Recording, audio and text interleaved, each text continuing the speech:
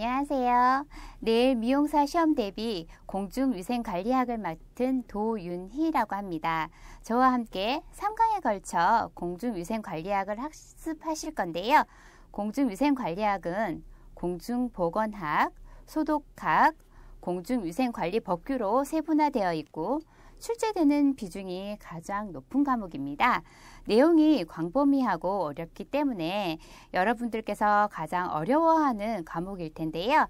개념을 잘 학습, 학습하신다면 쉽게 패스하리라고 생각되어집니다. 자, 오늘 첫 번째 공중보건학을 학습하도록 하겠습니다.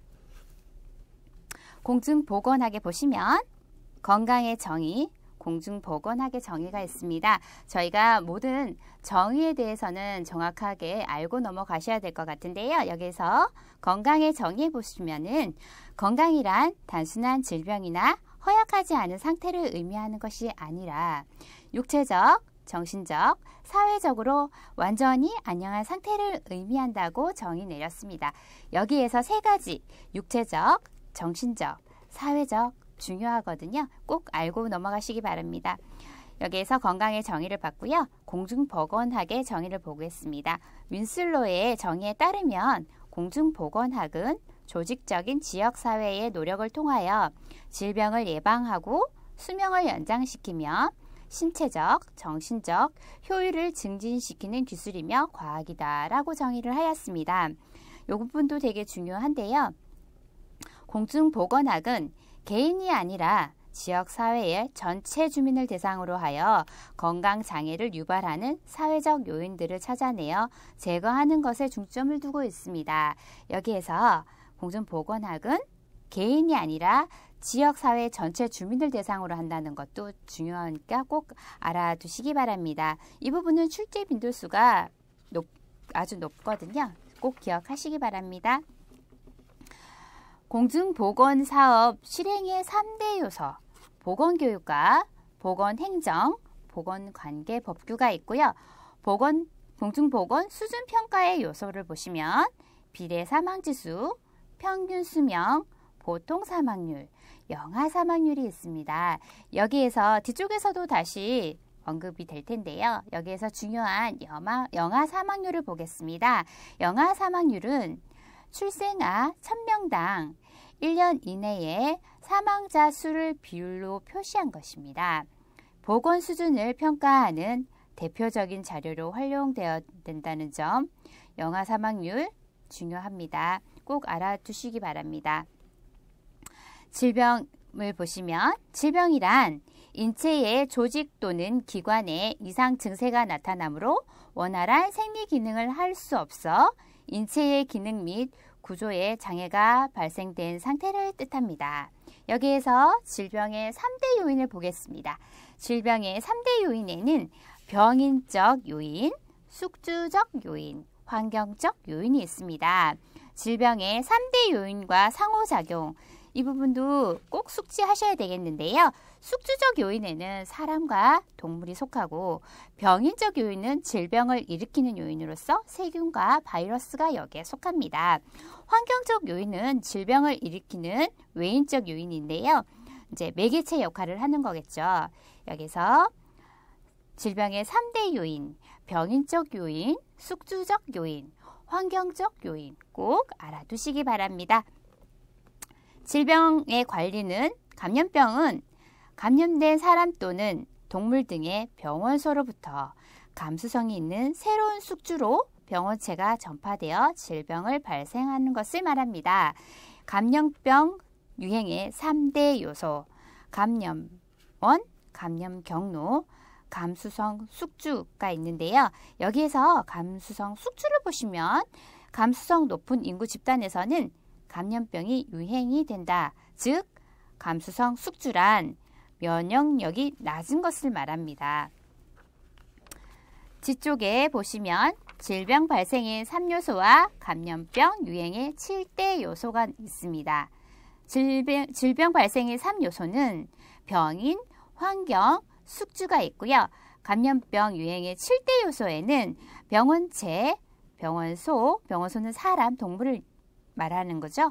병원소로부터 병원체의 탈출, 병원소로부터 병원체의 전파, 새로운 숙주로의 침입, 그리고 숙주는 새로운 숙주의 감수성, 이렇게 또 그리고 면역이 있습니다.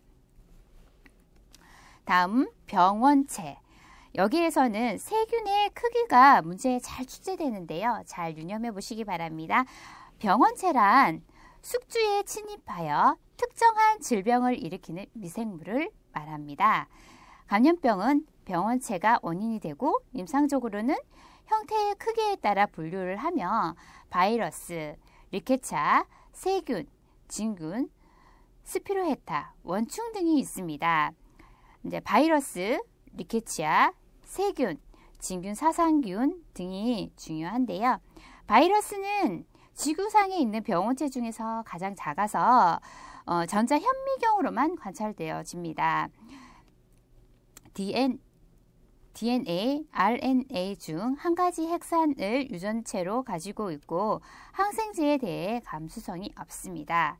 리케치아는 세균과 바이러스의 중간 크기입니다. 그리고 세균은 단세포로 미생물로서 적절한 습도와 온도를 유지하며 급속하게 증식 하며 유사한 분열을 하지 않는데요. 여기에서 세균을 보시면은 막대 모양의 간균, 둥근 모양의 구균, 나선형 모양의 나선균이 있습니다. 그러니까 간균에는 막대 모양의 디프테리아, 장티푸스, 결핵균이 있고요. 구균, 둥근 모양의 구균에는 연쇄상규균, 폐렴균, 포도상규균 등이 있습니다. 여기서 또 나선형 모양의 나선균은 콜레라균이 여기에 해당됩니다. 이 병원체에는 아까도 이야기했듯이 이 세균의 크기가 문제에 자주 출제되는데요. 바이러스, 리케치아, 세균의 크기로 병원체의 크기를, 크기가 크, 저기 점점 작아진다는 것을 기억하시기 바랍니다. 병원소, 병원소가 병원체가 생존, 증식하면서 살 수 있는 장소로 병원소로는 인간 병원소, 동물 병원소, 토양 병원소 등이 있습니다.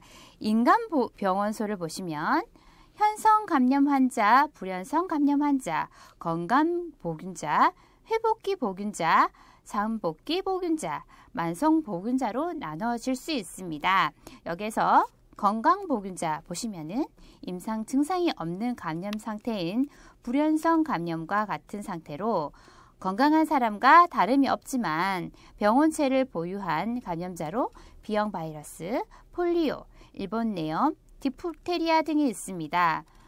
겉으로는 표시가 나지 않기 때문에 관리하기가 어려운 게 건강 보균자입니다. 회복기 보균자, 감염성 질병에 걸린 후 증상이 사라진 후 병원체를 계속 배출하는 보균자로 디프테리아, 장티푸스 등이 있습니다. 잠복기 보균자는 증상이 나타나지 않는 잠복 기간 중에 병원체를 배출하는 보균자로서 호흡기 질병, 홍역, 유행성 이하선염 등이 여기에 속합니다. 만성 보균자로는 병원체를 오랫동안 지속적으로 보유하고 있는 보균자로서 장티푸스, B형 바이러스 감염자 등이 될 수 있겠습니다. 동물병원소는 동물의 병원체가 인간 숙주에게 감염시키는 감염원으로서 존재하는데요. 어, 돼지 같은 경우는 살모넬라증, 소, 살모, 파상열과 살모넬라증, 광우병, 개는 광경병, 양, 탄접 화상열, 쥐, 유행성 출혈, 살모넬라증, 말, 유행성 내염, 살모넬라증, 탄저, 조류에는 닭, 오리, 야생 조류에서 조류 인플루엔자 바이러스의 감염병이며 드물게 사람에게도 감염된다고 합니다. 병원체의 탈출 경로를 보시겠습니다. 감염병의 전파는 병원소로부터 병원체가 탈출하면서 시작되어 탈출의 이동 경로로는 호흡기관 탈출, 위장관 탈출, 비뇨생식기관 탈출, 개방된 상처 탈출, 기계적 탈출 등이 있습니다. 이제 전파를 보시면은 탈출한 병원체는 새로운 숙주의 전파 과정을 거치는데요. 직접 전파와 간첩 전파로 나눠줄 수 있습니다. 직접 전파는 매개체 없이 전파되는 것을 말하는데요. 어, 숙주에서 숙주로 전파되는 것을 직접 전파라고 합니다. 간접 전파는 매개체를 통한 전파로 병원체가 탈출하여 다른 숙주로 침입하기까지 일정 기간 동안 생존해야 하는 시간이 필요하는데 식물에 의한 활성 매개체와 무생물에 의한 비활성 매개체가 있으며 여기서 공기도 매개체 역할을 한다는 거 꼭 알아두시기 바랍니다. 그래서 진해 감염 같은 경우는 공기를 통한 전파, 개달물 감염에는 저희가 서적이나 침구, 손수건, 왕구, 의복 등의 개달물에 의한 감염도 있습니다. 전파 동물로의 감염에는 절적 동물인 모기, 진드기, 파리에 의한 감염과 말라리아, 일본 내염, 발진 디푸스, 제기열, 장티푸스, 흑사병도 여기에 속합니다. 여기에서 숙주의 감수성을 보시면은 감수성이란 침입하는 병원체에 대항하거나 막을 수 없는 상태를 말합니다. 이 항체가 체내에 존재하는 동안 같은 병원체에 대항하는 저항력을 갖게 되는데요.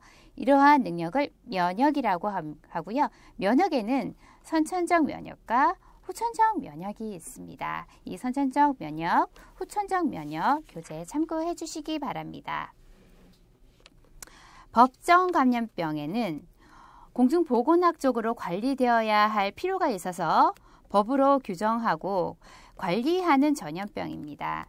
여기에서 어, 집단 발생의 우려가 큰 거는 제1감염병, 감염병, 또 국가 예방 접종 사업 대상인 제2군 감염병, 아주 중요한데요. 이 부분도 출제 빈도가 아주 높습니다. 그래서 제1군과 제2군 감염병 정도는 외워 주셔야 되는데요. 어, 제1군 감염병에는 콜레라, 장티푸스, 파라티푸스, 세균성 이질, 장 출혈성 대장균 감염증 A형 감염이 있습니다. 그래서 제1군 감염병에 걸렸을 때는 즉시 신고를 해야 됩니다. 그리고 제2군 감염병에는 국가 예방 접종 사업 대상인데요. 그러니까 예방 접종을 통해서 예방 및 관리가 가능한 부분입니다. 디프테리아, 백일해, 파상풍, 홍역, 유행성 이하선염, 풍진, 폴리오, 비형 간염, 일본내염, 수두, 비형, 헤모필루스, 인플루엔자, 폐렴구균 등이 있습니다. 제2군 감염병도 즉시 신고를 해야 됩니다. 그리고 제3군 감염병에는 시간적 간격을 두고 유행하는 감염병인데요. 그러니까 간혈적 유행 가능성 계속 감시를 해야 되고 방역 대책을 수립을 해야 되는데 19종류가 있습니다. 이 부분도 어, 알아 잘 외워 주시기 바라겠습니다. 제4군 감염병에는 국내 새로 유입 또는 국내 유입 우려되는 감염병인데요. 여기서 대표적으로 사스가 여기에 해당됩니다. 이 1군 감염병, 2군 감염병, 3군, 4군 같은 경우도 즉시 신고를 해야 됩니다. 지정 감염병은 어, 7일 내에 신고를 해야 되고 5군 감염병도 7일 이내에 신고를 해야 됩니다. 이렇게 신고를 즉시 신고냐, 7일 이내 신고냐 이런 문제도 나올 수 있기 때문에 이 부분도 잘 숙지하고 넘어가시기 바랍니다. 어, 다음으로는 식품위생과 영양에 대해서 보겠습니다. 식품위생의 정의는 식품위생이란 식품의 재배, 생산, 제조로부터 인간이 섭취하는 과정에까지 모든 단계에 걸쳐 식품의 안전성, 건전성 및 악화 방지를 확보하기 위한 모든 수단을 말하고 있습니다. 또한 식품위생법에서는 식품, 식품 첨가물, 기구 또는 용기, 포장을 대상으로 하는 음식에 관한 위생이라고 정의하고 있습니다. 여기에서 식품위생관리 3대 접근 요소가 있습니다. 안전성 가장 중요한 요소이겠죠. 안전, 완전 무결성, 영양소에 적절한 함유가 되어 있는지, 그리고 건전성, 식품의 신선도를 여기서 말하는 것입니다.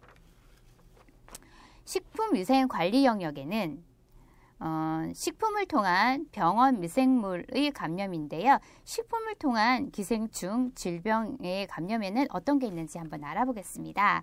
회충, 구충, 요충, 간디스토마, 페디스토마, 갈고리촌충, 민촌충 등이 있는데요. 여기에서 어, 민물고기의 생식, 오염된 물, 조리, 기수, 조리 기술을 통해 감염하는 걸 간디스토마, 그리고 감염된 개, 가재를 생식함으로써 감염되는 것을 페디스토마, 그리고 분변의 비위생적 처리와 그리고 분변이 있는 야채를 생식했을 때 걸릴 수 있는 게 회충입니다. 이 정도는 알고 계셔야 될 것 같습니다.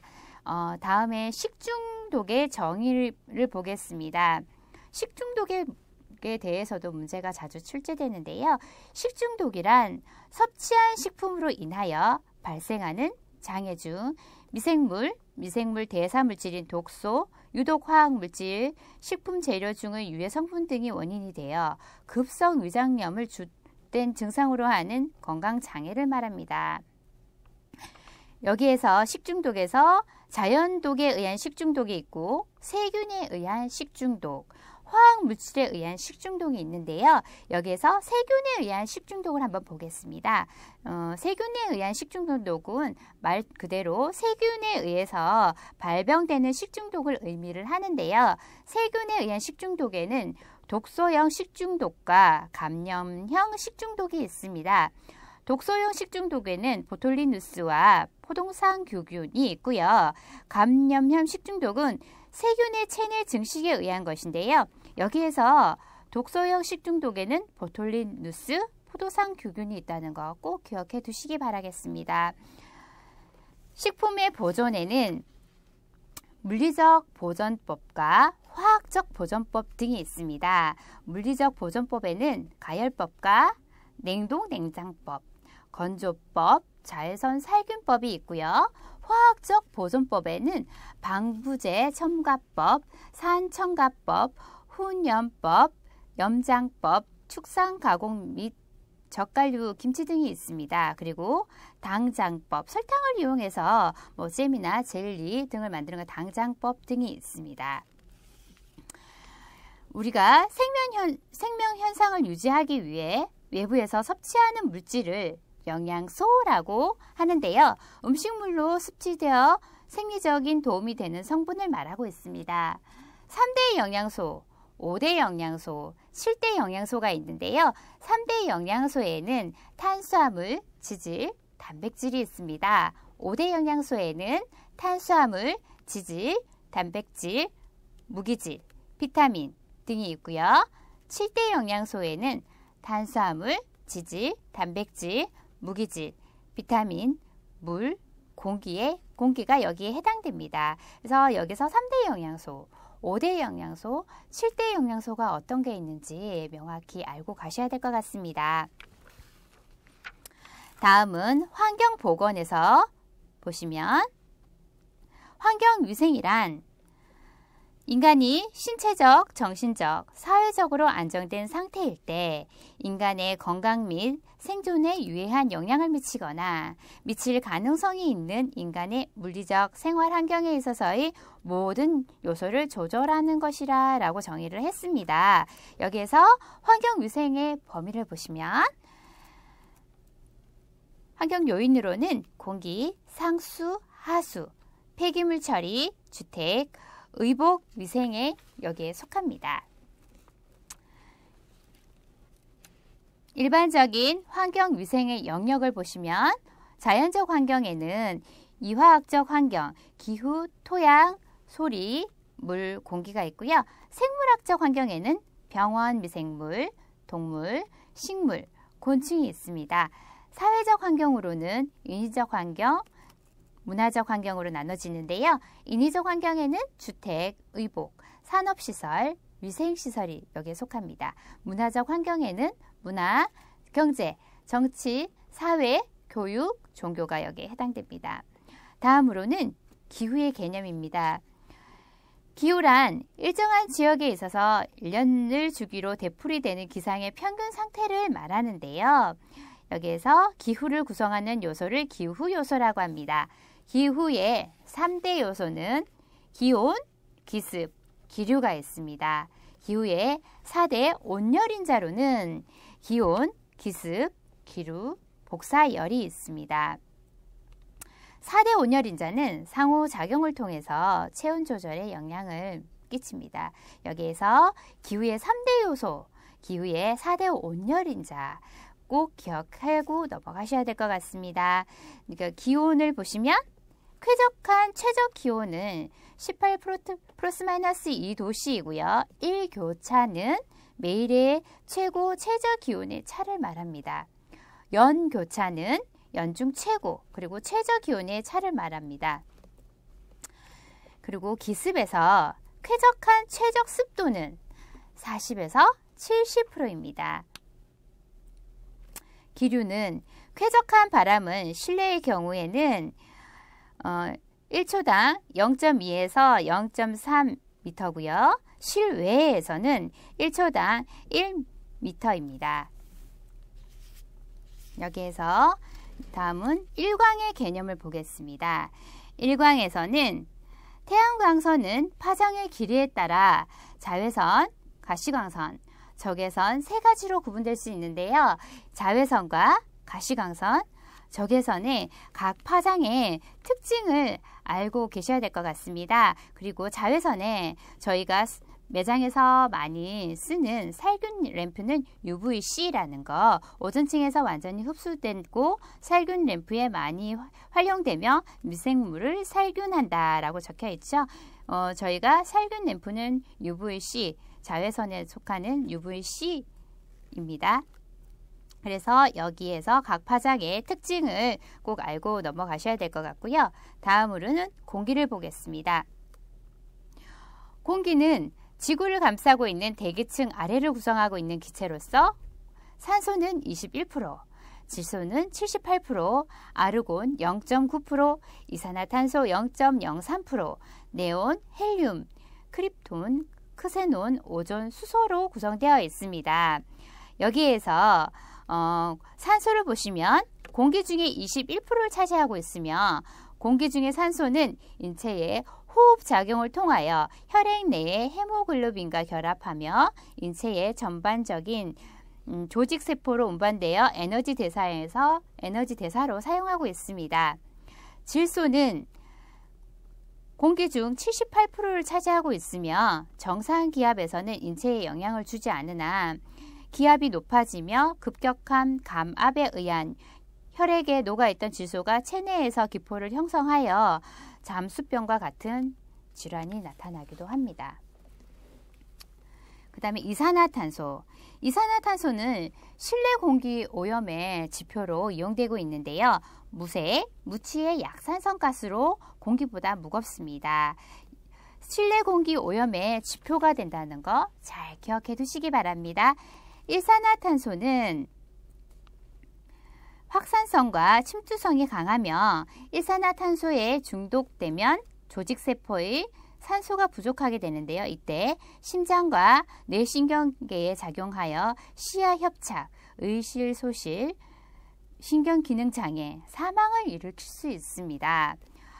다음 아황산 가스를 보시면 공기보다 무거우며 대기 오염의 지표 물질로 어, 이용되고 있는데요. 자극성 냄새가 나는 유독성 물질입니다.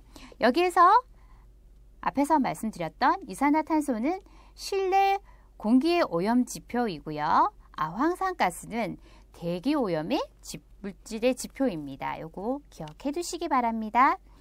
대기 오염의 개념을 보시면 세계보건기구의 정의에 따르면 대기 오염이란 대기 중이 고유의 자연 성질을 바꿀 수 있는 화학적, 물리적, 생물학적 요인에 의해서 의한 오염을 말하고 있습니다.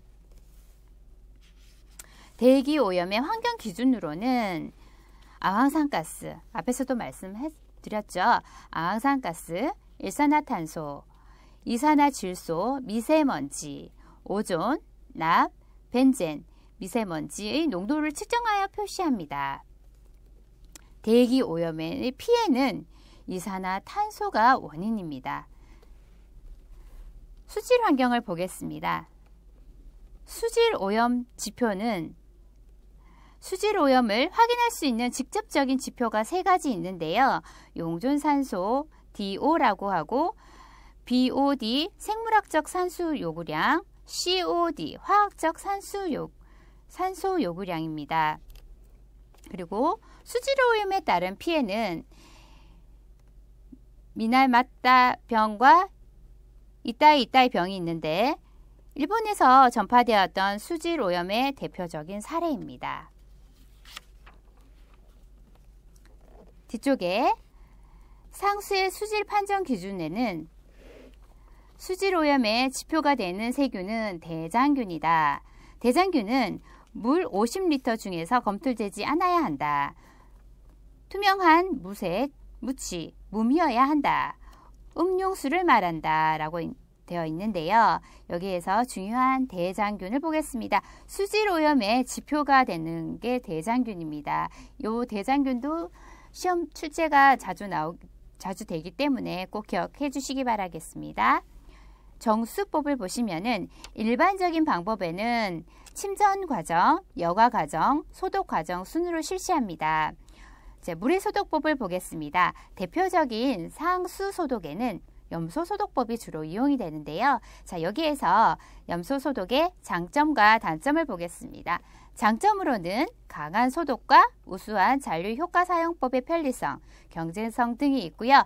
그러나 독성과 냄새는 단점이라고 할 수 있습니다. 여기서 염소 소독법의 장점과 단점 꼭 기억해 두시기 바랍니다. 하수는 생활에서 생기는 오염수를 말하며 산업폐수, 생활폐수, 지하수, 천수 등 사용 불가능한 물을 의미합니다. 하수의 오염 측정은 생물학적 산소 요구량, 화학적 산소 요구량, 연종 산소에 의해서 책정될 수 있습니다. 주거 환경을 보시면은 주택의 이상적인 기본적 조건, 남향과 동, 남동향이고요. 지하수 위에 1.5에서 3m로 배수 조건이 양호하고 지질이 건조해야 합니다. 폐기물 매립지의 경우에는 20년 이상 경과된 곳이어야 합니다. 최강은 하루 최소 4시간 이상의 일조량, 일조량이 요구되는데요. 그리고 조명은 정밀 작업 시에는 300 룩스, 보통 작업 시에는 150 룩스, 기타 작업에서는 75 정도 룩스이어야 합니다. 이 부분도 중요한 부분인데요. 적정 실내 온도와 냉난방 조절. 실내 온도는 18 플러스 마이너스 2도씨와 습도는 40에서 70%가 최적이다. 그리고 냉난방 시 실내외 온도 차이는 5에서 7도씨가 적절하다. 시험 출제 빈도수가 높고 상식적으로 알아두시면 좋으시겠죠? 그래서 여기서 실내 온도와 실내 온도와 습도 그리고 실내외 온도 차이 기억해 주시기 바랍니다. 산업 보건을 보겠습니다. 산업 보건이란 모든 산업장 직원들을 위해 육체적, 정신적, 사회적으로 최상의 안녕 상태를 유지, 증진시키는 것을 말합니다. 산업보건의 목적은 근로자의 건강을 보호하고 증진하며 노동 생산 효율을 향상시키는 것입니다. 그래서 여기에서 산업보건의 목적 보호하고 증진하며 노동 생산 효율을 향상시키는 거 꼭 기억해 두시기 바랍니다. 다음 가족 보건 및 인구 노인 보건을 보겠습니다.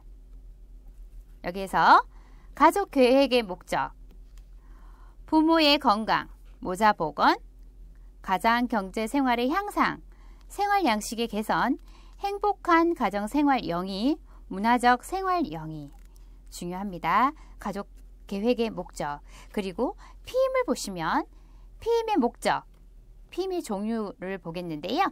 피임의 목적에는 정확한 효과, 인체의 안전성, 사용의 간편, 경제적인 비용, 올바른 성생활 가능, 그리고 피임의 종류로는 영구적 피임법과 일시적 피임법이 있는데 영구적 피임법은 정관 절제술, 난관 절, 결찰술, 그리고 일시적 피임법, 경구 피임법과 콘돔, 월경 주기법, 작용 내 장치하는 루프 등이 있습니다.